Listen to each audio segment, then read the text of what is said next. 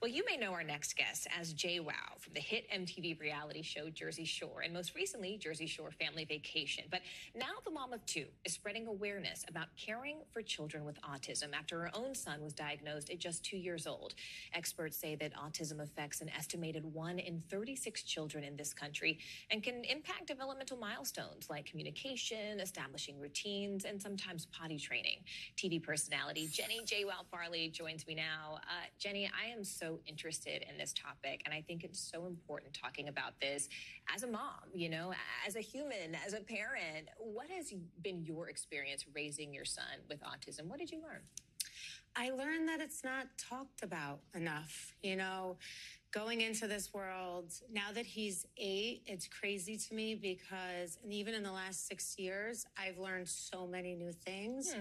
from autism being a spectrum from like the communication aspect, the incontinent aspect, the sensory aspect. I'll be wholeheartedly honest. When I first came into this journey, I didn't even know there were those components attached. A lot of people have autism. no idea. Yes. Right. And as a parent, you're already doing so much. You're already learning sort of like in real time on the yes. battlefield, right? And then you have these additional things to have to think about. I know that you yeah. partnered with Aeroflow Urology.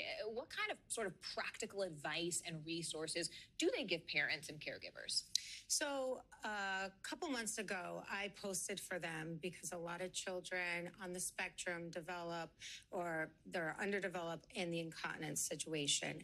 And Aeroflow Urology really fights the insurance companies. They do all the work for you. And it costs little to no uh, money for the parents to receive these products for their children. And it really came down to the comments and the messages that I received a ton of them being that they weren't aware that their kids were entitled to these services. Mm. And other services, and others not realizing that insurance could cover them. And the fact that there is just help out there, people like Aeroflow Urology out there willing to help moms like us take the extra steps in providing care for our children. What do you think is the most misunderstood thing about kids with autism and the families who love them?